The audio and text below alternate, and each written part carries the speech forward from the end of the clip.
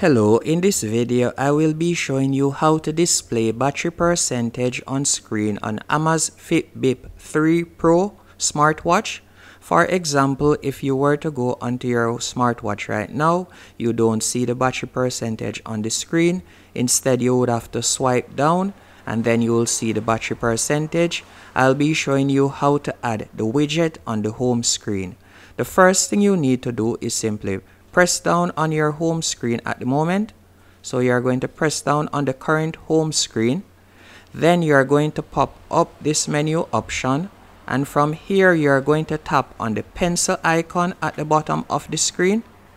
Then you will see right where you see heart rate on my screen right there. You're going to tap on that until you see battery percentage as you can see right there and once you have found battery percentage you will simply tap on the button on the side right there to confirm and you can see that the battery percentage is now visible on the home screen of the watch. Hope you found this video helpful and informative.